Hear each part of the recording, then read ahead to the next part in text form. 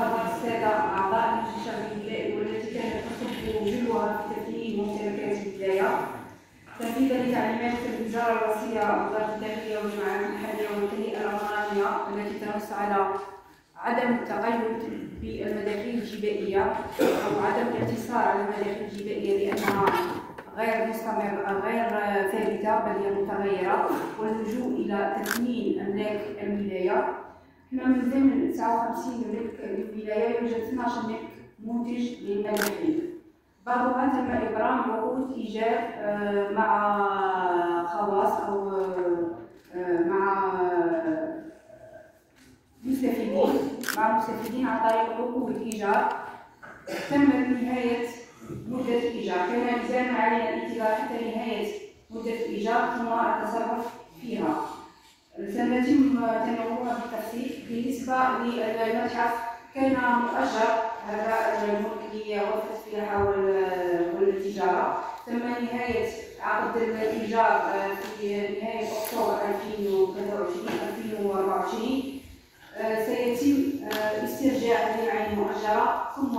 الشروع في الإجراءات الإدارية المنصوص عليها. قمنا بتحضير دفتر الشروط. تم إرساله إلى المديرية المعنية من أجل الإثراء وسيتم الشروع في الإجراءات المزايدة بالنسبة لقصر المعارض قصر المعارض هذا الملك تم الفصل فيه ابتدائيا بمبلغ ضد غرفة التجارة والصناعة شفات بمبلغ قدره 48 مليون دينار جزائري. ونحن في انتظار الحكم النهائي. وعند استرجاع العين المؤجرة سيتم آه، تحضير دفتر الشروط والشروط في إجراءات المزايدة ثم تم تخصيص له مبلغ يقدر ب 2 مليار سنتين في الميزانية الإضافية لسنة 2024 سنتم الشروع في آه، الدراسة آه، مع مكتب الدراسات لإنجاز مشروع مرآة للطوارئ بالنسبة بعد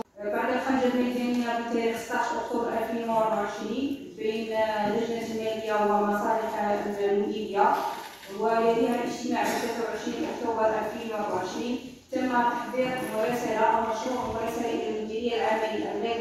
الوطنية من أجل الترخيص بمنح عقد الاكتساب لطرف المديرية العامة للأملاك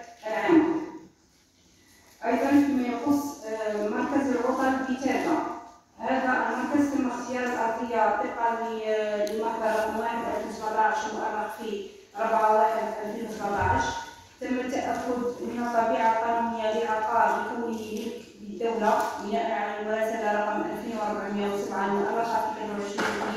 2022 مسجل هذا الملك باسم الدولة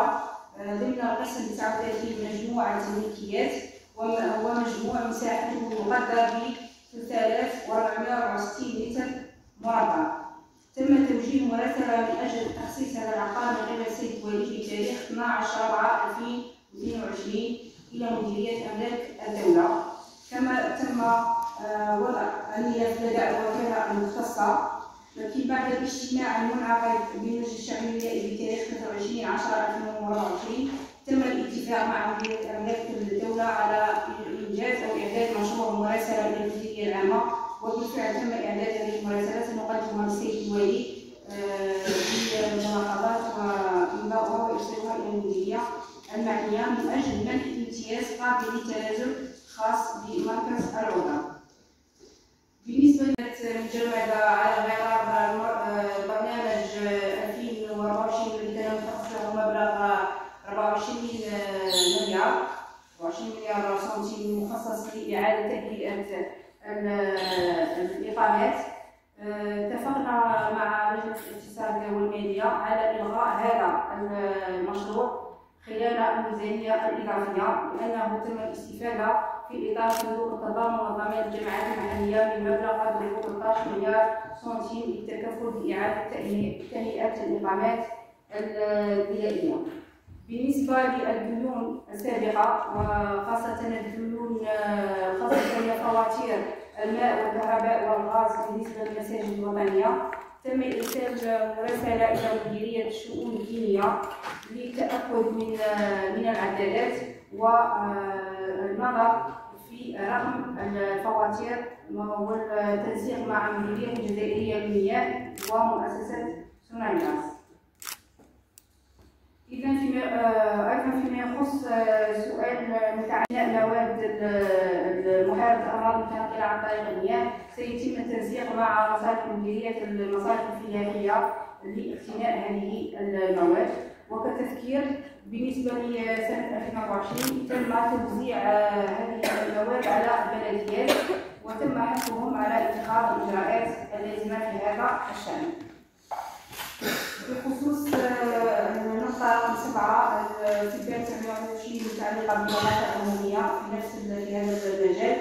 آه، تم اقتناء هذه المواد وتوزيعها على البلديات وحثهم على القيام بالإجراءات المناسبة. بالنسبة للنقل المدرسي التنسيق مع سادة رؤساء الدوائر لإرسال احتياجات كل بلدية على حدة وسيتم عقد لجنة مع الاجتماع مع لجنة الاقتصاد والمالية لنظر في هذه الاقتراحات وتقديم المقررات السيد الوالي. بخصوص الطريق اللي تكلمنا عليه سابقا نطلب من السيد رئيس المجتمع البلدي تقديم بطاقة تقنية بالتنسيق مع مدير الأشغال العمومية للنظر في الاقتراحات سواء في برنامج دعم التنميه الاجتماعية والاقتصاديه أو صندوق تضامن الجماعات المحلية هذا خلال التحكيم لسنة 2025 تغطية 12 شهر. تغطية 12 شهر لأجور المستخدمين. هذا جاء بناء على التغير الصارم في أحكام التعليمات الجارية التي تنص على التكفل بها خلال 12 شهر. خلال الميزانية الأولية الميزانية الإضافية تتدخل في مواضيع أخرى في التسيير أظن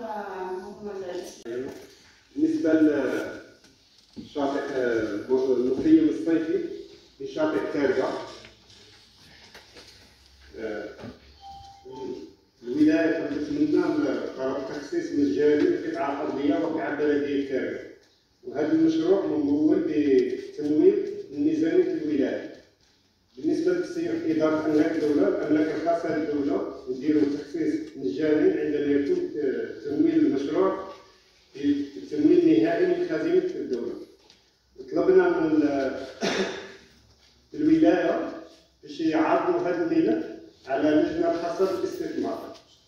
هذه الفترة الملف اللي حطوه